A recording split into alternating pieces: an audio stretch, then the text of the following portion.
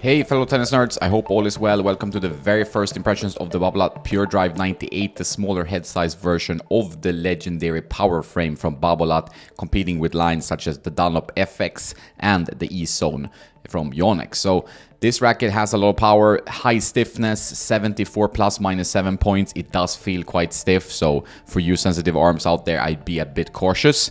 I strung it with uh, Razor Soft from Tecnifibre, this new string that I'm also testing. I wanted to see how if, if it can soften somehow and still retain the control.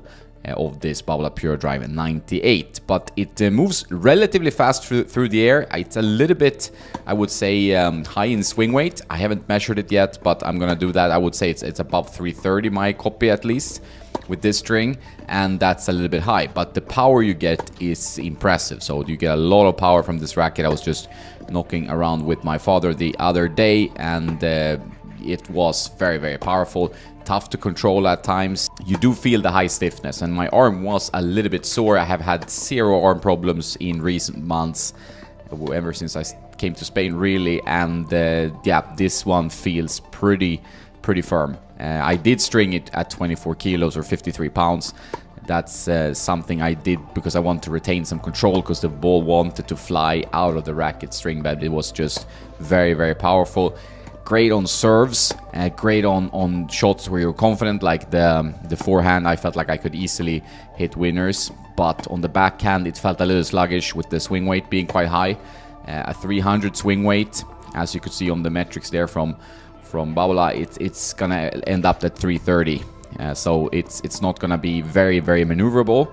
Uh, but for advanced players, which is what this racket is tailored towards, it's yeah, it's a lot uh, to swing for uh, for guys like me. And if you're a little bit lower in the level of, of play you you will struggle with this frame in my opinion. I, I think it is is a bit tough to use in the specs that they I, I got at least. Uh, my father did hit with it a bit and he actually enjoyed it uh, which he doesn't always do. But uh, yeah it it, uh, it is firm and he noticed that too nice stability on volleys it feels rock solid with that stiffness and that swing weight it's a rock solid racket so that you get uh, but the maneuverability and the control will obviously suffer with these types of specs. And I didn't notice that it's a significant improvement over the VS. It feels maybe a little bit more solid. Quick sponsor break. Check out the singles playbook from Fuzzy Yellow Balls. They will teach you patterns, how to beat certain types of players with different strategies and patterns of play. Full with videos, lots of different chapters on beating pushers, counter punchers, serve and volleyers and so on. I found this product great. I bought it over a year before they asked to sponsor some YouTube videos for me. So uh, check it out. The link is in the description. So if we look at the pros and cons of the Pure Drive 98, it has that Pure Drive heritage, lots of power, some spin, lots of fun to play with obviously. All this power you can hit big serves you can go big on the ground strokes plus one play aggressive take charge of the point. So for advanced players that can handle the stiffness and the swing weight, I think it's a great tool. However, for players with concerns about your arm or anything like that, I think it will be tough to dial in the control and the comfort of the frame because if you go for a softer string, slower tension, the ball will fly a bit because of the high stiffness and the higher swing weight. So it is a smaller target group, uh, pretty clearly a more advanced demographic, I would say. But for those players that can handle it, I think it can be a huge weapon and you can win some points for free for sure. And I, I did have a lot of fun, hit more aces than normal. So I must say that this frame is actually quite a lot of fun to use and I will keep tinkering with it a bit with different string setups and so on and see if I can find a way through so uh, make sure to look out for more second impressions when I've been testing it a bit more but I wanted to get this out there because I've been getting loads of questions about this frame and it's definitely nothing to ignore but be a bit cautious if you have R problems. To add to that, I'm also testing the extended version from longbodies.com. The 27.5 has a higher swing weight. This one measured up at 334 strong swing weight, so a pretty beefy racket. Also felt like that.